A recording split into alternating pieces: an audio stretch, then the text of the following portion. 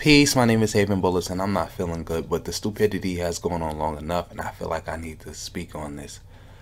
Um, the Black Authority has just exposed himself for like the millionth time that he doesn't actually understand politics. And he doesn't know what he's talking about. Because as you can see what he wrote. And you can see what Kamala Harris wrote.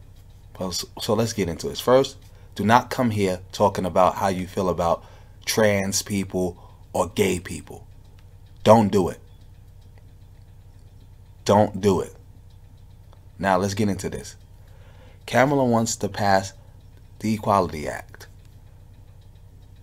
Why is this important? First of all, passing the Equality Act basically just will amend a lot of the civil rights legislation that we already have. Because remember, there is no protection for sexual orientation, or gender identity at the federal level. There is none. We have protection based on where you cannot discriminate against people based on their race, place of origin, gender, and in some cases,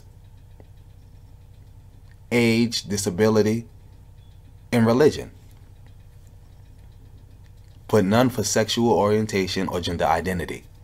She wants to pass this act into law so that protection will be there. Why is this important?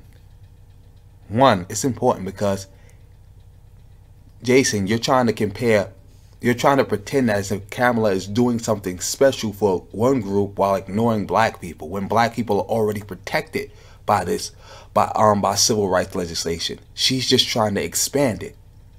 This is programmatic legislation that will protect that will protect more people. Black people are not losing out. You're you're making it seem as if black people are not protected at the federal level from discrimination. And she's just silent on that while trying to help pass laws that protect homosexuals and, and transgender people. Another thing that's problem um, problematic with, with this comparison that you're doing is, again, the legislation she's talking about is programmatic. It that does that will affect white people, white gays, Asian gays, Native American gays, black gays. You're making it seem as if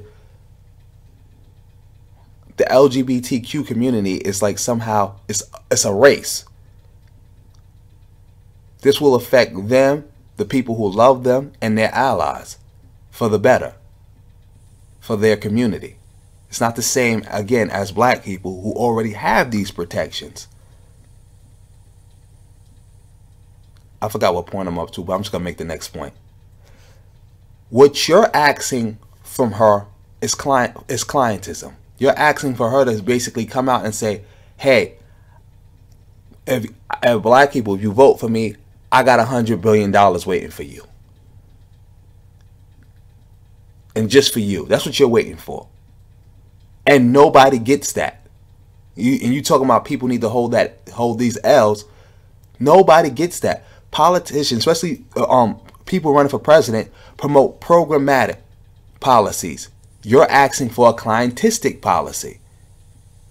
And this is why people keep telling you that nobody gets that, and then you keep confusing the programmatic with the with your client clientism agenda for black people. They're two separate things. I, I, I don't know.